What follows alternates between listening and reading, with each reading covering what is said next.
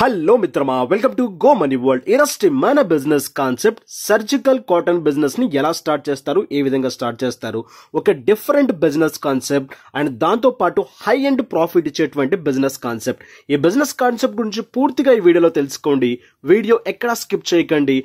ప్రతి ఒక్కరు ఈ బిజినెస్ ద్వారా ఇన్కమ్స్ని గ్రాప్ చేసుకోవచ్చు. అది ఎలాగో క్లియర్గా తెలుసుకుందాం. ఇక లేట్ చేయకుండా వీడియోలోకి వెళ్ళిపోదాం.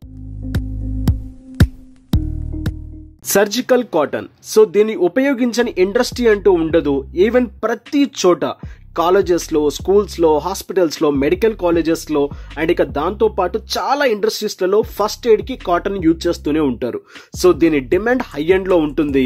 అండ్ ఇక దాంతో పాటు బ్యూటీస్కి సంబంధించి శానిటరీ ప్యాడ్స్ కంపెనీస్ వాళ్ళు ఇలా చాలా మంది ఈ సర్జికల్ కాటన్ యూజ్ చేస్తూ ఉంటారు. వరల్డ్ వైడ్గా దీని డిమాండ్ అనేది చాలా ఎక్కువగా ఉంది.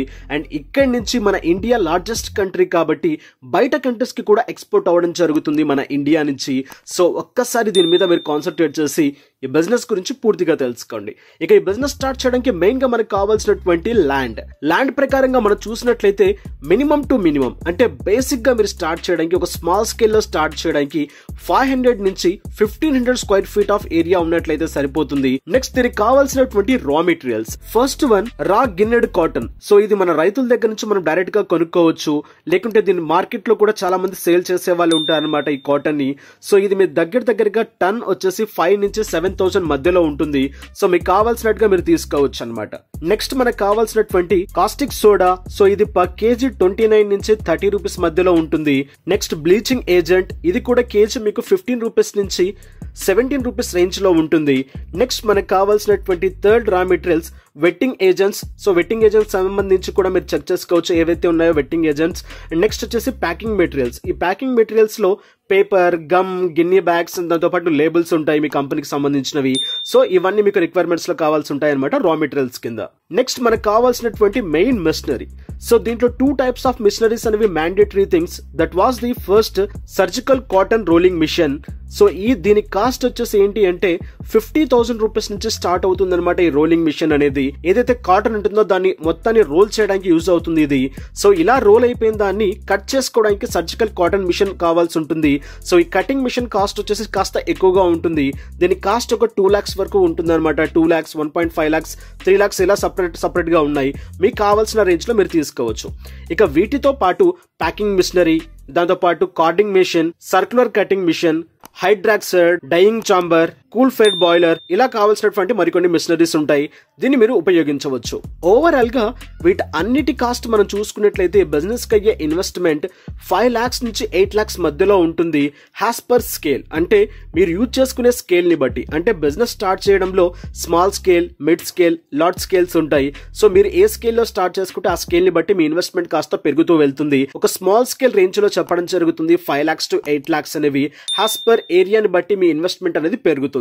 ఇక ల్యాండ్ కూడా దీంట్లో ఇన్వాల్వ్ చేయలేదు. సో ల్యాండ్ అనేది మీ దగ్గర ఉన్నట్లయితే అమౌంట్ తగ్గుతుంది. లేదు అనుకుంటే దానికి కాస్త ఇన్వెస్ట్మెంట్ కూడా పెరుగుతుంది అనమాట నెక్స్ట్ ఈ బిజినెస్కి కావాల్సినటువంటి లీగల్ డాక్యుమెంట్స్ ఫస్ట్ డాక్యుమెంటేషన్ మనం చూసుకున్నట్లయితే బిజినెస్ రిజిస్ట్రేషన్ చేయించుకోవాల్సి ఉంటుంది. అండ్ పార్ట్నర్షిప్లో అయినా కానివ్వండి లిమిటెడ్లో అయినా కానివ్వండి. నెక్స్ట్ చూసుకున్నట్లయితే లేఅవుట్ అండ్ ల్యాండ్ ప్లాంట్కి సంబంధించిన లేఅవుట్స్ అనేవి సబ్మిట్ చేయాల్సి ఉంటుంది గవర్నమెంట్కి. అండ్ ఇది లీజ్లో ఉందా? అండ్ అగ్రిమెంట్లో ఉందా? అనేది కూడా డాక్యుమెంట్స్ అనేవి సబ్మిట్ చేయాల్సి ఉంటుంది. Next NOC state pollution board దగ్గర నుంచి మీరు ఒక ఎన్ఓసి తీసుకోవాల్సి ఉంటుంది. ఈ బిజినెస్ స్టార్ట్ చేయాలి అనుకుంటే. సో మీరు స్టార్ట్ చేసేటప్పుడు ఇది కెమికల్స్కి సంబంధించినది అండ్ డ్రగ్స్కి సంబంధించింది కాబట్టి and as per drug act ప్రకారం సో ఏదైతే ఉందో joint commissioner of food and drug వాళ్ళతో కూడా పర్మిషన్ తీసుకోవాల్సి ఉంటుంది. అది నీడ్ అవుతాయి. ఓవరాల్గా ఇలా ఈ బిజినెస్ని స్టార్ట్ చేసుకోవచ్చు. సో ఇలా అయిన తర్వాత మనం ఈ బిజినెస్ని స్టార్ట్ చేయడానికి ఫస్ట్ థింగ్ సో ఏదైతే మనం చెప్పుకున్నామో కాస్టిక్ సోడా లాంటి కెమికల్స్ ఉన్నాయో ఆ కెమికల్స్ అండ్ కాటన్ వేసి దాదాపు త్రీ టు ఫోర్ అవర్స్ అనేవి స్టీమ్ చేయాల్సి ఉంటుంది. స్టీమ్ చేసిన తర్వాత వచ్చిన కాటన్ని డ్రై చేసి ఏదైతే మన రోలింగ్ ఉందో ఆ రోలింగ్ మిషనరీలో పెట్టి రోల్ చేసి తర్వాత కటింగ్ మిషన్లోకి వెళ్ళి కటింగ్ చేసుకోవాల్సి ఉంటుంది. ఇలా ఓవరాల్గా అయిపోయినటువంటి ప్రొడక్ట్ ఈ విధంగా ఉండడం జరుగుతుంది. ఏదైతే మనం తీసుకున్నామో ప్యాకింగ్ మిషన్ ఆ ప్యాకింగ్ మిషన్లో ప్యాకింగ్ చేసి మీ లేబుల్ స్టిక్కర్ని వేసి అంటించుకోవాల్సి ఉంటుంది. సో ఇలా ప్రొఫెషనల్గా మీకు ఉన్నటువంటి సర్జికల్ కాటన్ అనేది రెడీ అవుతుంది.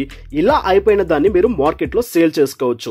ఓవరాల్గా మీరు ఒక సర్జికల్ కాటన్ రెడీ చేసిన తర్వాత దీంట్లో ఎంత ప్రాఫిట్ వస్తుంది ఏ విధంగా వస్తుందో చూద్దాం.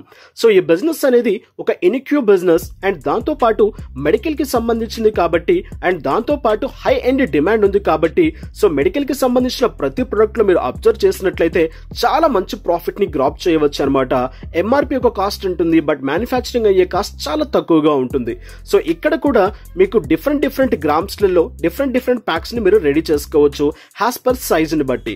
ఓవరాల్గా ఈ బిజినెస్లో minimum to minimum forty percent నుంచి సిక్స్టీ పర్సెంట్ ఆఫ్ మార్జిన్ని మీరు గ్రాప్ చేయవచ్చు. సో దీంట్లో హై ఎండ్ ప్రాఫిట్ని మీరు తీసుకోవడానికి ఛాన్స్ అనేది ఉంటుందన్నమాట. సో ఇక దీనికి సంబంధించి చాలా కంపెనీస్ అనేవి టెండరింగ్ ప్రాసెస్ని కూడా వేస్తూ ఉంటాయి గవర్నమెంట్ హాస్పిటల్స్లలో. సో మీ కంపెనీ కూడా టెండర్లో ఓకే అయినట్లయితే అండ్ అక్కడ కావాల్సినటువంటి ఎవ్రీథింగ్ అనేది మీరే ప్రొవైడ్ చేయవచ్చు ఈ సర్జికల్ కాటన్కి సంబంధించి. సో డిఫరెంట్ డిఫరెంట్ కాన్సెప్ట్స్ అనేవి ఉంటాయి. అక్కడ మీరు పార్టిసిపేట్ చేయవచ్చు అనమాట సో ఇక ఈ బిజినెస్కి కావాల్సినటువంటి marketing strategy so marketing strategy అనేది ఈ బిజినెస్ని మీరు ఇంప్రూవ్ చేయాలి అనుకుంటే సో ఆన్లైన్లో మీరు ప్రమోట్ చేసుకోవచ్చు మీ బిజినెస్కి సంబంధించి అండ్ దాంతో పాటు మెడికల్కి సంబంధించిన రిప్స్తో కూడా మీరు కాంటాక్ట్ అయ్యి సేల్స్ నడిపించవచ్చు. దాదాపు పెద్ద పెద్ద మెడికల్ స్టోర్స్ హాస్పిటల్స్ వాళ్ళతో మీరు టైప్ పెట్టుకోవచ్చు. ఇలా మీ బిజినెస్ని ఇంప్రూవ్ చేసుకోవచ్చు. సో ఓవరాల్గా ఇది సర్జికల్ కాటన్ బిజినెస్కి సంబంధించి ఈ బిజినెస్ చేయాలి అనుకుంటే ఒకటికి రెండు సార్లు ఆలోచించుకోండి. అండ్ ఈ బిజినెస్ చేయాలి అనుకుంటే మినిమం టు మినిమం మీకంటూ అండ్ మెడికల్ మీద నాలెడ్జ్ అనేది ఉండాల్సి ఉంటుంది. సో మీరు మెడికల్ బ్యాక్గ్రౌండ్కి సంబంధించిన వాళ్ళైతే ఇంకా మంచి బెనిఫిట్ అనేది ఉంటుందన్నమాట ఈ బిజినెస్లో. లేట్ చేయకుండా ఈ బిజినెస్ మీ మైండ్లో ఉన్నట్లయితే దీని మీద గ్రౌండ్ వర్క్ చేయండి. గ్రౌండ్ వర్క్ చేసి బిజినెస్ని స్టార్ట్ చేయండి. సో ఈ బిజినెస్ చేయడానికి గవర్నమెంట్ దగ్గర నుంచి లోన్స్ కూడా అవైలబిలిటీలో ఉన్నాయి. సో లోన్స్కి కూడా మీరు అప్లై చేసుకోవచ్చు. ఈ బిజినెస్ని రన్ చేసుకోవచ్చు. సో మిత్రమా ఇది వల్టీ బిజినెస్ కాన్సెప్ట్. నెక్స్ట్ మరో అద్భుతమైన బిజినెస్ కాన్సెప్ట్స్తో మళ్ళీ కలుసుకుందాం. Have a nice day have good day take care Jai Hind Jai Bharat